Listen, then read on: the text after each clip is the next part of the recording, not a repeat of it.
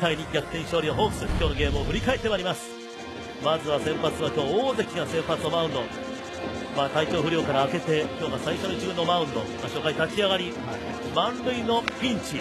イーグルスはチャンス、はい、鈴木大地はセカンドゴロ。この先1点が入ります。ここまではしょうがないかなとい。う感じしましたね、若干ボールが高いのは気になりましたけれど、はい、そして、はい、ランナー三塁一塁で伊藤幸也がフォークをうまくセンターの前に放ちました。出ますよね、2点目が入ります。2対0イーグルスが追加点。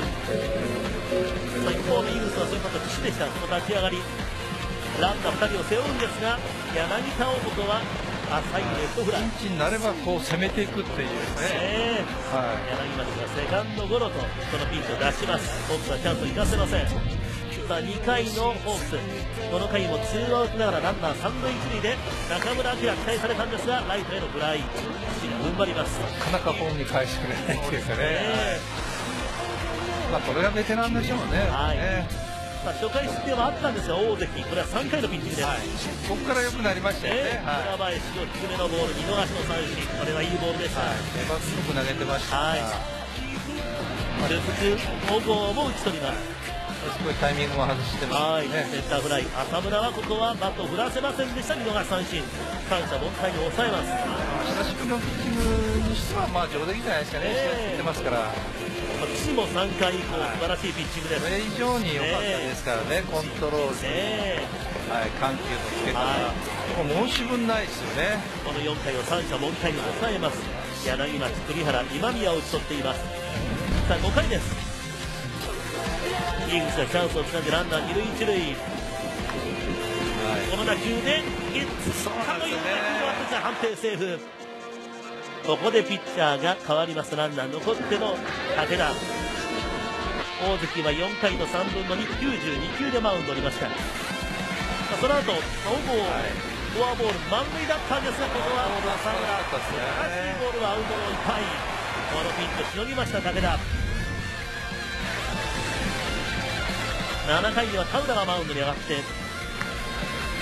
田中監督打球をここは今宮がファインプレーまいですよね、これね。ねここはいいプレーでした。ランナー二塁に行くんですが、ツーアウト二塁。ただ、はスライダーを打ってレフトフライと、田浦がしのぎます。さあ、7回の岸のマウンド。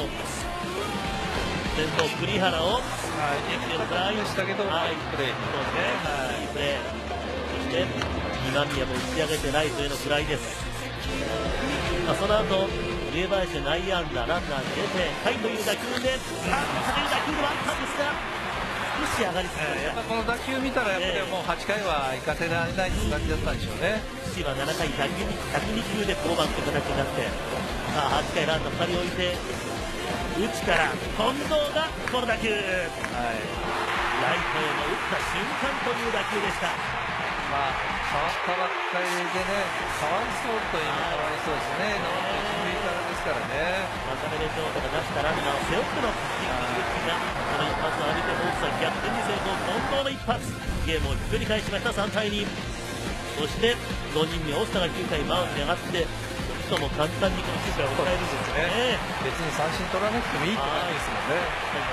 セカンドゴロに沿って試合終了3対2、ホークスが逆転勝利を収めています。大前さん、はい